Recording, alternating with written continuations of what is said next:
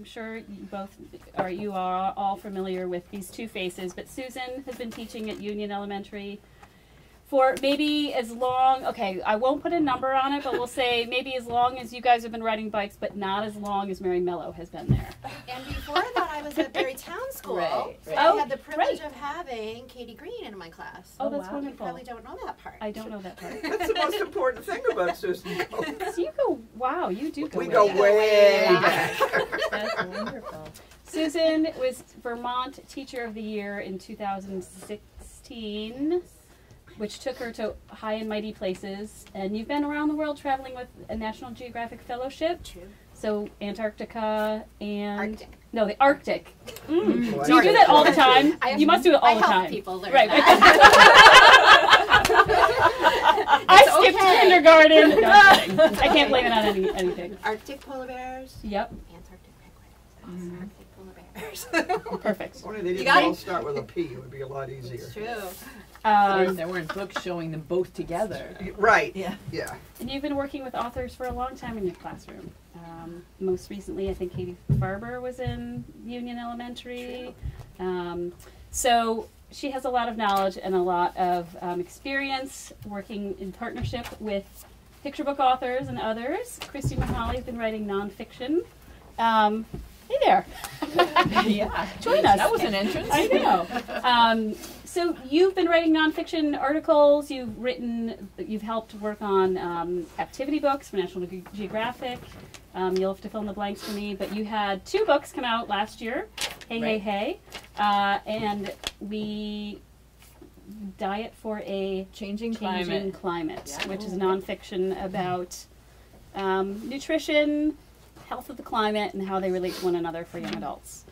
And Um, there's bug eating in it, isn't there? There's insect eating in it. and it received, it was on the long list for the Green Books. Oh, that just came Green out. Just- Earth Book Green Award. That's Earth great. Awards. Both you and Katie Farber are on Yep. that. That's Yes. wonderful. Just Congratulations. Let's all That's lovely to hear. Cool, So that's I'm just going to shut up now. Pardon? Do you have that book here? I don't have that book. It's Okay. um. It's it's a it's, for the school and library market, so it's library bound, Okay. and it costs thirty seven bucks. Oh, okay. We are happy Not to order it making for me you. happy, but I'm happy Yes. to show Okay, it to thanks. you. So I'm going to get out of the way and let you two do your thing. Thank you so Thanks, much Jane. for committing to come back. Thanks for having us. And thank you guys for coming. This is such a nice group. We're excited. If you don't know us that well.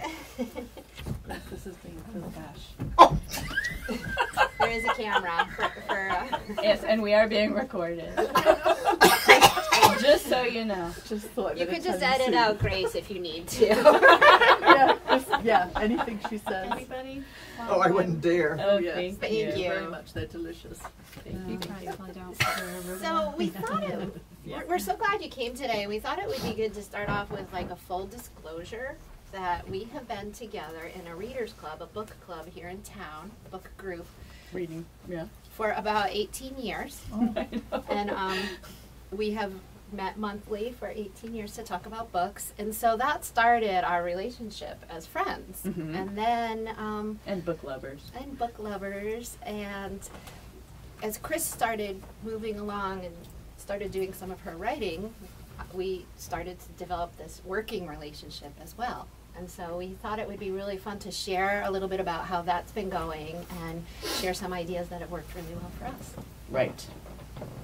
Right. And um, I, I think you might know everyone here, but I don't know quite everyone Yeah. here. And I know we have a We don't know writer. each other, so. Okay. Right, so So, maybe if we can just get a sense of what angle everyone comes from. I think they're all different, which is really fun. Um, that would be helpful to us and maybe everybody. And we're hoping that it's, especially with a group this size, that it can be a, a back and forth conversation because we have some ideas, um, and I know you'll have lots of ideas also as we go along.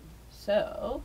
I think we heard a little bit about you that you're at UVM, right? Yeah, I work with the pre-service teachers, Okay. and um, we currently spend a lot of time. Uh, the licensure category is birth through third grade, and um, I tend to um, get them when they move out to the public schools in the Mhm. K three context. So, and I'm just a lover of children's Great. books. And Great. it Okay. was, it's interesting because I have one student teacher right now, and she's at Allen Brook, and she's um, doing this little um, little project on Vermont authors. And then um, I, I she teaches in, she's in kindergarten, and then I happened to be down here and I saw this poster and like the whole thing just kind of clicked for me. So I drove down. Awesome. Terrific. Thanks for coming. Um, so I work at Candlewick Press. Wonderful. I've worked there 22 years. I'm the editorial director, or one of them. Um, so I work on picture books, uh, really for babies up through young adult fiction and non-fiction. I do work with several um, Vermont authors, like Tobin Anderson, somebody I've worked with the whole time I've been at Candlewick. So when we started working together, he was 29 and I was 39. and now he's 51 and I'm 61. So that's been sort of a long, long Vermont connection. Um, I've always wanted to move to Vermont um, because Amy Ehrlich, who was my predecessor at Candlewick, lived up here, and I used to come and visit her and think, oh, this would be so perfect. I could work from home. So finally, 22 years later, I'm actually doing that. So I have a house in Huntington. Nice. And this is my dear friend Grace Green, who you all know. Oh, no, I don't, I don't know Oh. Christie. Hi. And what is your name? Liz.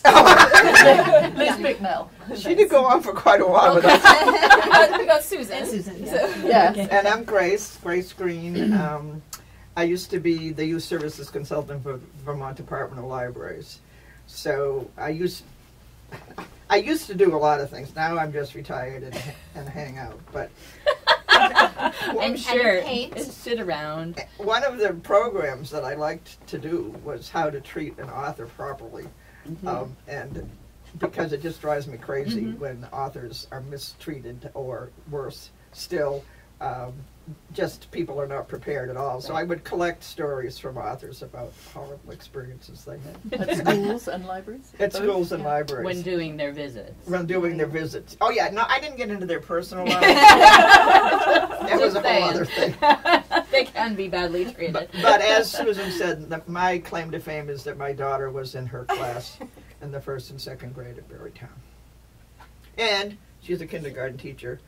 I, she graduated from the LA program. She did. Yes, she Yeah. did. Yeah. Yes, oh she my did. gosh. Oh yeah, my 'cause I remember that because I I met you. I've, I know now, you. You're, you're a legend, and I've You, met. you know me. She Yeah, is I- a legend. yes, Well, and I, I came in. I had I interviewed you once. I just wanted to learn. All Oh, about did you? Yeah, Oh. but that's okay. And, And I was think I I knew nice about to your you? daughter. Oh, you're of course. Okay, good. And yeah, my it's- daughter's a kindergarten Where? teacher at, at um, St. Monica's, St. Oh, Michael's cool. in Barre. Oh, wonderful. Yeah. And also the Red Clover program, right? Oh, yeah. Well, yeah, we well the Department of Libraries. Also. well, whose program is this? The, the Department of Libraries runs all three of the Children's Choice Awards, Children's Book Choice Awards in, in Mhm. Vermont, and the Red Clover one is the. Do you know them? The Red Oh, Clo- yeah. Mhm. Okay, all right. Yeah. The Red Mhm. Clover one is the picture book one, so Mhm. near and dear to my heart. Yes, yes. All of us, I think. All right, well, it's Because of lovely that, that I got you. the, the trivia question at Chittenden, or at uh, People's United correct yesterday.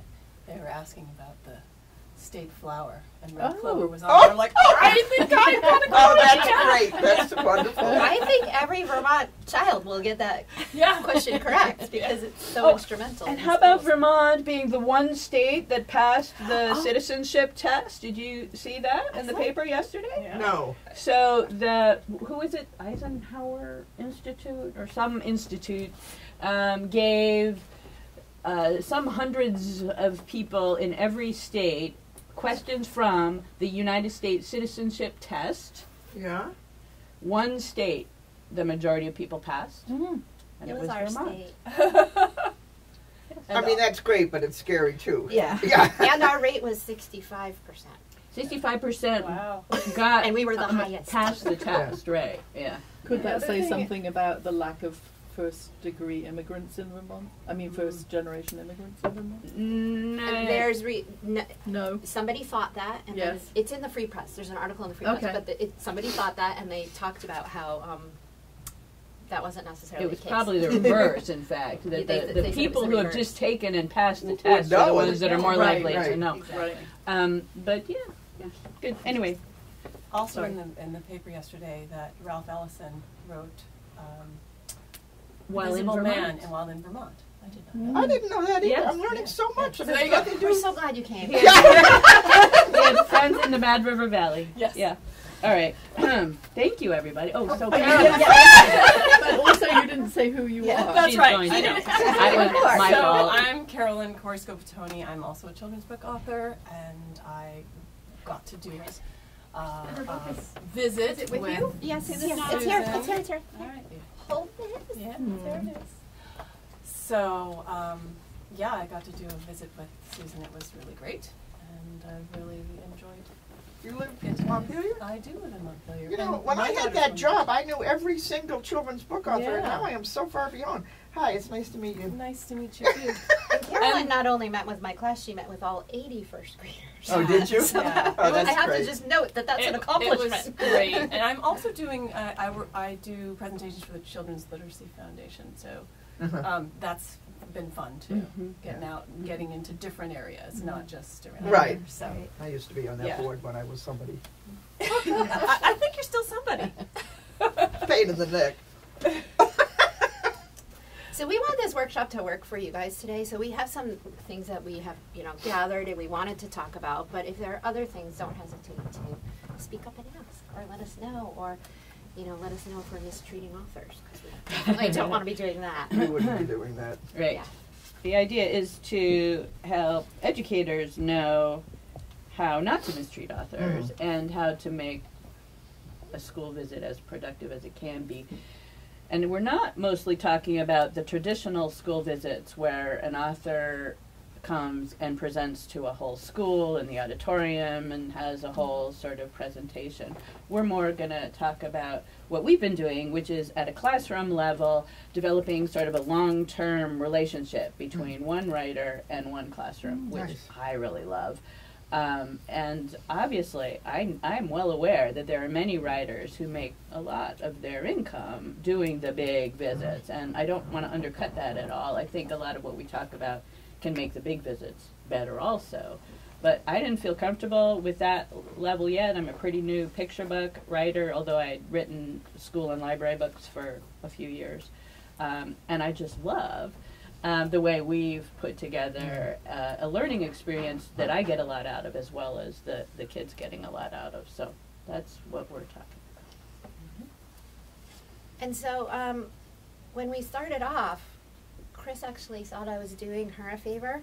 when I she thought first she was asked doing me me a favor. and so, um, you know, go ahead. Yeah. Yeah, she said, "Well, do you want to come and and uh, read to my class?" And at this point, I didn't. My picture book wasn't out, so I had educational books out. This was my my first book that came out, and um, I thought she was honestly doing this as an act of charity to me because um, it was such a, a, a great chance for me to go and talk to a small and manageable group of first graders with a teacher that I already knew and liked. And um, I didn't realize until later that you were doing it for your own, you know, you thought it would be good for you. It was advantageous to me to have an come in.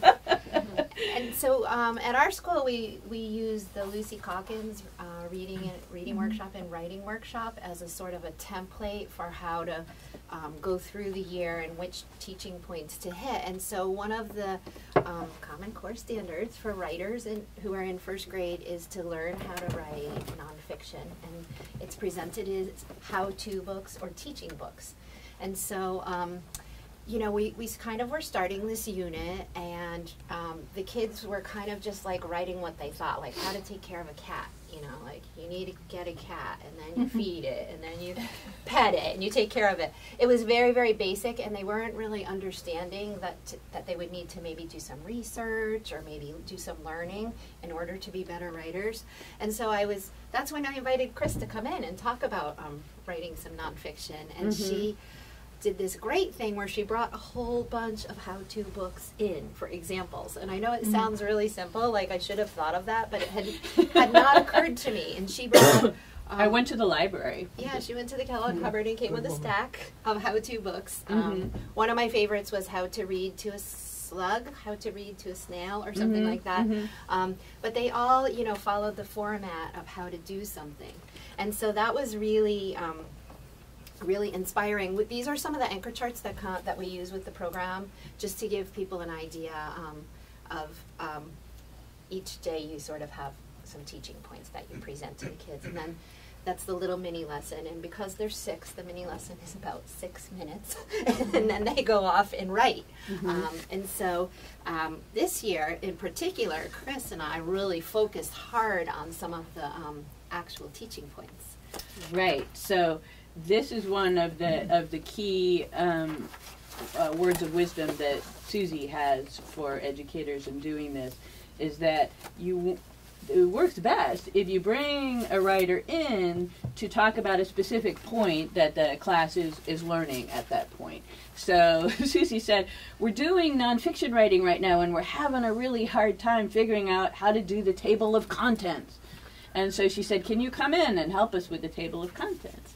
So I said, Absolutely, that sounds like fun, right? and so I brought in um, some books that had interesting tables of contents, and you know, one of them was my book, and um, we uh, we we had a little mini. Le- I gave a mini lesson. It's like, I don't know.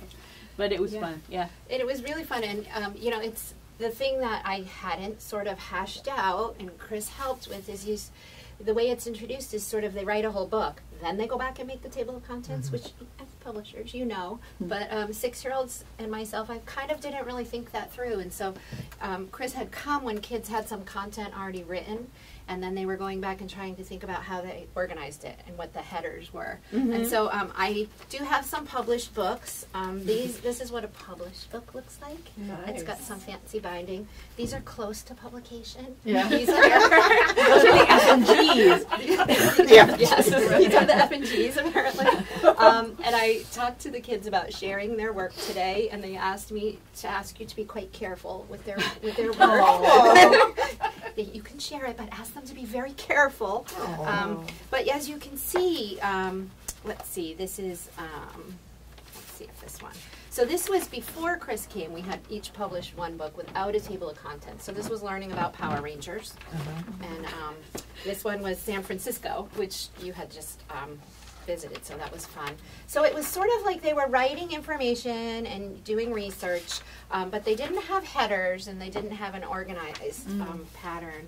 But then um, we did get some organization going, and I'm trying to find the one about pets because that was Oh, the pets one. the pets one. Um, so this was how to have a pet, and it's close to publication. and um, she has what you need, pets like, and what kinds of pets for her table of What contents. kind? Yeah, yeah. Um, and so then she's had, got some headers up here. Um, and so when when Chris came, it helped us with that. And then we decided we needed a second visit because uh, a couple weeks later, the task was to work on introductions and conclusions, which is super hard when you're six to really. Yeah, I would think so. Yeah. Um, and You this can one, talk about it, but you can't write about it as much. so That's this one we really wanted to. Um, I wish we had documented more because when Chris first came, this student had, "Did you ever want a pet in your life?" That was her introduction. Really pretty snazzy. Yeah. Very good. And you, you, you liked it. I we, mean, you, we liked it very much. Um, but we had that time, Chris was able to come and we divided the kids into small groups, and she was really able to get them to elaborate more on their introductions. So we ended up with Did you ever want a pet in your life? Look in this book, and you will learn about pets. Oh, Which is a Good. for, for, for first grade, that's quite an introduction. Um, and so we really spent some time working on introductions. This, um, this is the one that she wanted me to share with you that you never got to see, all about the continents. Wow, that's a This is a one. book about the continents. Did you ever want to learn about them? Read this book to find out, and you will see what you can learn. but right, the big idea is there. Like Right. it's coming. And then this is a um, student who struggles a little more with his writing, all about snakes. And his table of contents was um, how do snakes move, packs, and dens. And um, his introduction is my absolute favorite. Do snakes freak you out? Read my book. That's He's good. got style. exactly. And he's got the voice going. Yeah. so um, this was after we had a couple of sessions together. And um, one of the things, and I'll let you talk about this a little bit because this Oh, Okay. is kind of a magical time. One of the things Chris did when she came, Well, yeah, I didn't realize how, how well this would go over, but as I was preparing to talk about introductions, I went through my collection. I did not write this one, but I brought it in because um, it has a um, a nice introduction, and I explained what the introduction. But the, this introduction talks about how you use this book and what's in this book, and so I used that to illustrate uh, the concept, and I offered to leave the book for the class. Well, it turns out that the class really likes this book, which I didn't think was written for first graders, but they just apparently are pouring over it and talking about the design of it and talking somebody looked at the table of contents and said oh my goodness this is the longest table of contents on the planet right and I Uh, couldn't find it yesterday. Of course, I wanted to bring it to show you, and it was squirreled away in someone's desk. So I finally found it. Um, but yeah, sort of broadening horizons and talking concretely about here's why you want an introduction in a book, and that was helpful to them to think about um, at the level of you know first grade books. So um, they, I love my visits with this classroom because the kids are so engaged and excited. I mean, they have a really outstanding teacher in the first place, um, but to have an outside person who's a real author Right. um, is is kind of a, a, a special a special thing for them. And um, and and I learn a ton about how kids think and what kids um, you know react to positively and and all those things which are terrifically important to me as a writer for this age group. Yeah, and the magic, I think the magic of the co-teaching model is there, you know, the magic of great teaching is presenting information in a lot of different ways because you never know who's going to take in what. Mhm, And so mhm. um, I, I did want to share one of the uh, funny stories. The first time Chris came and met this year's class, I had just kept saying, we're going to have an author visit, an author's coming to visit. Um, and Chris walked in the door and he turns to me and said, I thought it was going to be a man. Mm. And I—I thought, how, like, my mind is like, oh, what have I done? Like, why is he thinking this? And I said, well, why did you think that? And he's like, well, it's probably because I'm a boy. Uh, and I'm an author. And so I was just thinking it would be a man. And I was like, okay, okay. Yeah, yeah. Wasn't it also you had said Chris and Chris? I hadn't said your no? name. Oh. I hadn't Oh, used your okay. name. I just kept Okay. saying author, All right. author. Um, Interesting. but I got a little worried. And then I, when he said, it's just probably because I'm a boy, I I thought, thought, okay. that makes me feel a little bit yeah, better. that's that's an okay Uh-huh. thing. Yeah. and so um, it, it's been um, it's been really interesting to explore that concept. Mhm. And so, you know, the the point of sharing this work is like the advanced planning that goes in, and Yes. that's we all know that's what good teaching entails. But um, I think the first couple of times that we met, we didn't do that as well. Mhm. You know, it was sort of like, come on and read, and then Chris read, and then it was sort of what do we do next? Um, But Mhm. really tying it into something and tying it into something that we're already doing, like so that it's not an add-on.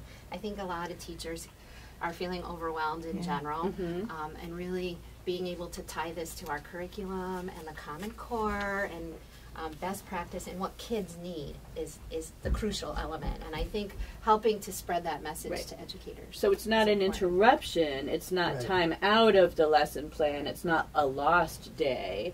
It's um, inf- reinforcing and moving on with Yeah. your uh, work with like an extra helper, an extra set of hands. Um, and from the writer's perspective, so much better than sort of showing up and nobody knows what you're doing and nobody's read your book and nobody is necessarily prepared and possibly not paying very much attention. Um, these are some of the stories I've heard. Um, this is a really um, sort of um, easy uh, way to get really deeply engaged with uh, a classroom full of readers and writers. And so, And I think there's, it's powerful. Like a, a, lot of times, I would say probably every day, there's a reference to. Remember in Chris's Moose book how she had a diagram of a life cycle. That comes up almost every day because Chris talked about how in nonfiction often um, there's a life cycle. So they're very into when we're sort talking of about animals. adding this when we're talking about animals. a lot animals. of your books were about animals. yeah. So we were talking about um, uh, uh, the table of contents and the chapter headings too, and everyone liked moose reproduce because that Right. was it. And so that's it- where it we have the life cycle. that's where we have the life cycle diagram, and everyone just really, um, you know, remembered that, and they started writing life cycles Yeah. in their in their books about animals. So that was that was fun for everybody. and just kind of the different uh, text features too. You know, it's it's really Mhm. great to have it. But but it comes up. Chris comes up a lot, like in discussions and in mini lessons, um, and so that's really valuable. You know, to to know, to know an author and to have something as a reference point. I think is really enriching their experience as learners. Well, and a writer is a real person. A real person can be a writer. Is is this lesson that I didn't get until I was already a writer? You know, writers were like Yeah. up there somewhere uh, for me. Yeah. Um, and so these kids, like people write, and that's a really valuable lesson, I think. And Chris doesn't even know this, but she worked with a small group at the table, and she did not get to work with everyone. So they're hoping that maybe she can come back and work with them at the table too. It was kind of a special treat to work there. Okay, now the pressure's on. Yeah, and so um, Oh, the classroom visits, you know, are are really valuable. But there are also some other models that we've used. Um, when Carolyn came, we Want actually to put that up? Sure, yeah. Um, Carolyn, we had 80 children, and so at that point, um, we were looking at craft moves that, that authors take. So um, the curriculum, as you know, like a healthy curriculum is sort of spiraling around, and so we're moving from uh, narratives to nonfiction to back to narratives, making them a little more complex, back to um, information books again. But um, at this point in the year, um, and I'm sorry the poster's so raggedy. No, no, it's saving it. It's still Somewhere. It's been hanging there. It Um, says, learning craft we moves learning from a mentor author. Yeah, so um, we why, this was kind of an interesting one because Carolyn was doing one of those sort of bigger presentations. She was reading her her book, and um, the kids were doing an activity. But as she was reading, we were kind of noticing some of the things in the story, and um, we were um, pulling them out, and then hopefully kids were emulating this in their writing, and it, it really happened, especially ellipses. Um, ellipses. Good lord.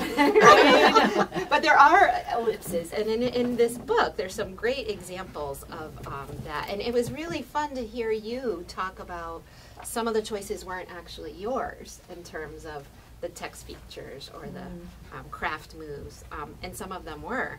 Um, but that was kind of the special part about hearing you read and talk about it. And so, in that scenario, um, we had to move to the Kellogg Hubbard, Kellogg Hubbard to uh, fit everybody in, and there was also the story walk. So that was sort of a multidisciplinary approach to um, to learning craft moves. But again, it was sort of this reference point later on to go back to. Well, I'm using an ellipse, or I did have a student um, who used alliteration and really kept talking about the bumpy, brittle brown stick.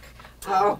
And so um, it, it's really, I think, powerful to have these real examples from authors. Um, And it was super great to have um, Susie. Um,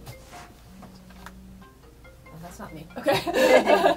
okay. to to Not have either. uh, Susie Not me, is it?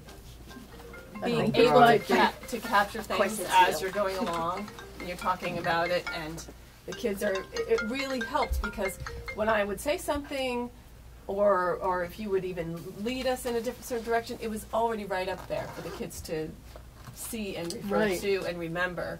And So, it wasn't like so the reading I think we read it through once and then And we we went back and kind of dissected it a little bit which was really helpful because you know I would ask the kids to what are you noticing here and somebody would usually and, and you Yeah. were, were very adept at getting the right people getting everybody to have a Yeah. chance to speak if and they we had wanted read, to. the- you know, the teachers I think probably each had read the book maybe three or four times Yeah. already, so they Sure. had seen capitals mm-hmm. or mm-hmm. exclamation marks or ellipses. Yeah. they really love ellipses. They just love it. It's like I I don't know if it's developmental or what it is, but they love ellipses. Well, it was a cool new thing, right? Yeah. Right. And, And, it's yeah. built suspense. I mean, Yeah. that's what life Yeah. is about, right? Yeah. Yeah. So, fabulous. um, yeah, and I think that um, Okay. I think it was really helpful to hear. Like we had read it three or four times, but to have you read was Mm. different, right? Like as a reader, you can think about phrasing, but when Oh, God, I'm somebody sorry. needs you, Grace. but having you read it was really was really Yeah. special. So we appreciate that time that you took to meet with us. Well, it was really fun.